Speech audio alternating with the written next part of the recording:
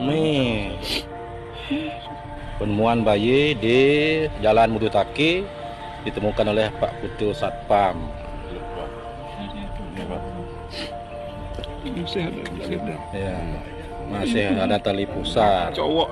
cowok. Semoga sehat.